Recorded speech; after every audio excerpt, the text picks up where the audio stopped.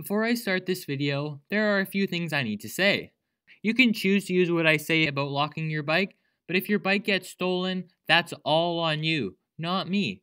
I just have to throw that out there because for sure someone would say, I did what you said and my bike got stolen.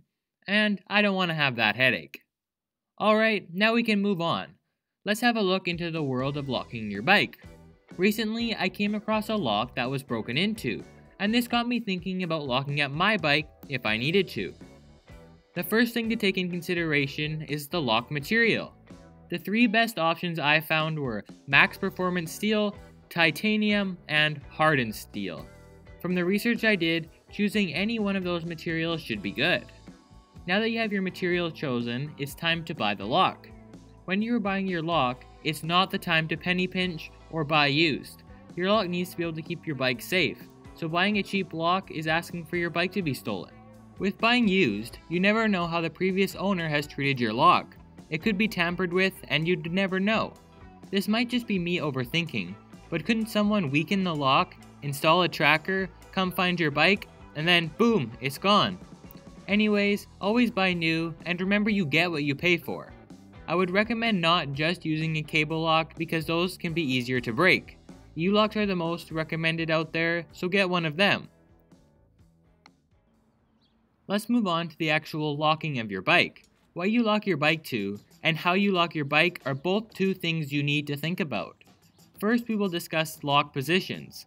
After spending about half an hour looking around for the best position, I have come up with a few answers. I am sure some of you have heard this before, but one of the most highly recommended positions is to lock your bike through the back wheel and in between the frames. Think about this for a second and you will understand why it's such a good position.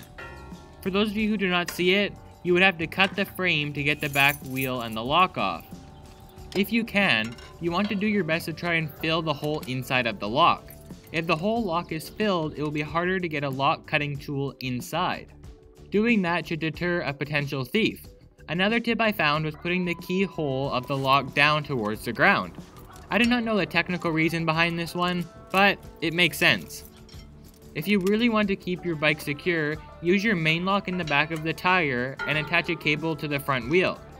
Making your bike more secure to the one next to it will prevent thieves because they'll usually go for the easier option to get in and out faster.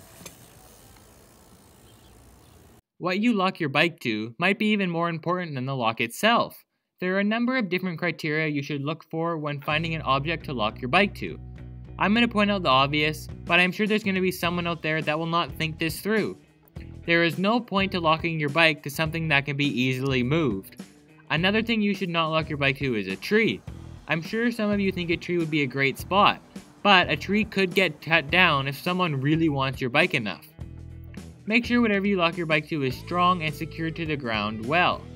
When locking your bike up for a few hours, do not do it near the place you're going in. For example, do not lock your bike outside of a movie theater because a thief will know you'll be occupied for a few hours. But that point I just said doesn't mean lock your bike in the middle of nowhere. A busy, well lit area is the best place to lock your bike because it's harder for a thief to be stealthy. While I was googling locks, I came across an interview with an ex-bike thief. The main takeaway I got from the interview was do not lock an expensive bike. Thieves will make an effort for more expensive bikes, so simply just do not lock a high-end bike and leave it.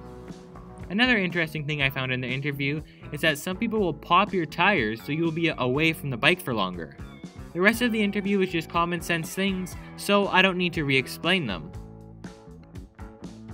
I have a few more tips before we finish off the video. Check out your local police station and see if they have a bicycle registration program so you can be identified as the owner if your bike gets stolen. I have stickers on all my bikes that prove the bike is mine if it were ever to get stolen. The lock that I have that was broken into can be registered, which means the company will replace the lock if it gets stolen or damaged, so make sure to check out your lock manufacturer's website.